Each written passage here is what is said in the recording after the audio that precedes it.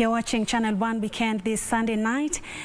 A five-story building worth millions of shillings has been brought down by the Nakuru County government after it was found to be structurally unsound by the National Construction Authority NCA two weeks ago. Meanwhile, a family in Eastleigh, Nairobi County is seeking justice after their kin died mysteriously after an, an electric pole fell on her. Timothy Kipnusu with details in our county news roundup.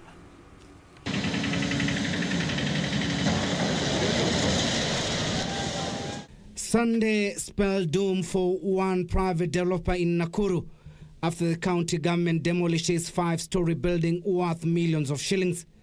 According to the county executive committee member for lands and housing, Joseph Kiuna, the developer has been playing cat and mouse games with the authorities for two years. The message here is that uh, we would like investors to come to Nakuru County, but follow the regulations and make sure that buildings and structures have integrity.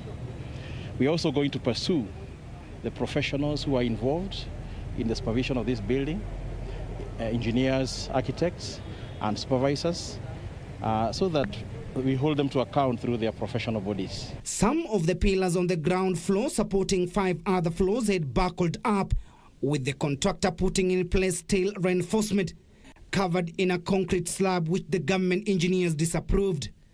Elsewhere, residents in Magarini sub-county Kilifi County were facing problems accessing crocodile-infested Galana River and losing many lives due to flooding have a reason to smile after the construction of the 115 million shilling Shakahola Hawe Wanje Bridge was completed.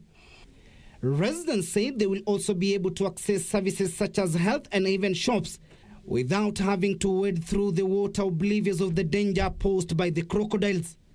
Tunasikia furaha sana kwa sababu nafikiri hivyo visa vingi vya labda mtu amesumbwa na maji au ameshikwa na mamba havitatokezea tena. Meanwhile, a family in Eastleigh, Nairobi County is seeking justice after their kin died mysteriously after an electric pole fell on her. According to the family, their kin died while undergoing treatment at Medina Hospital in Eastleigh after she sustained neck and spinal cord injuries. Mi nilisikia watu wa pikipiki wakipiga nduru. Hao vijana wa pikipiki hata hao ndio walikuja wakakibia wakaanza kusaidia huyo mama. Saa hiyo alikuwa amelaliwa na hiyo kikingi. This book is just like this cake. In the meantime, the government has been called upon to consider putting more punitive measures to those individuals involved in cases related to child abuse. Speaking during the launch of a book, A New Dawn for Children in Nairobi, Tana River Women Representative Rehema Hassan revealed that cases of rape and sexual abuse has become rampant in the country, saying it is time the government cracks the whip and ensure the perpetrators face the music. I know our children will learn a lot from this. And I believe whatever is in here is going to assist our children and our people.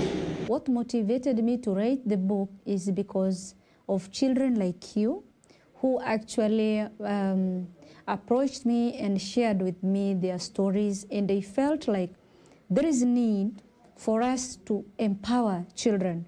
Because if children can actually raise their voices, then I believe they are the generation that can transform our societies.